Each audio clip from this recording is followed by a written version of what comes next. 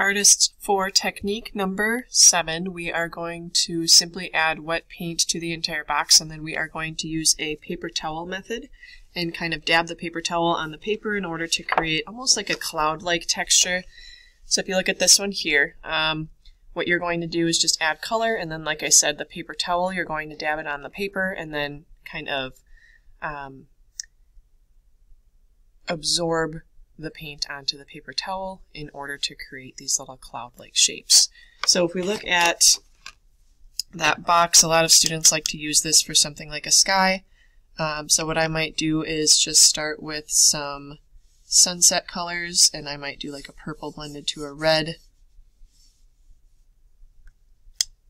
and blend that down to my orange and yellow tones almost like it's dusk or sunset.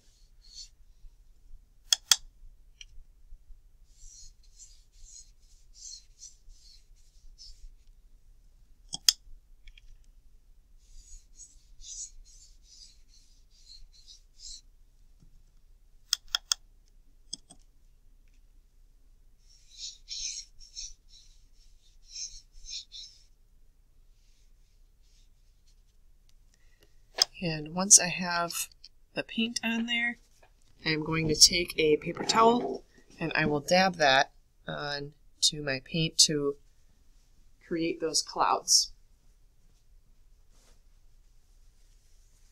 So I like to bundle the paper towel up and then I am going to press down, pull up, press down, pull up, press down, pull up, and remove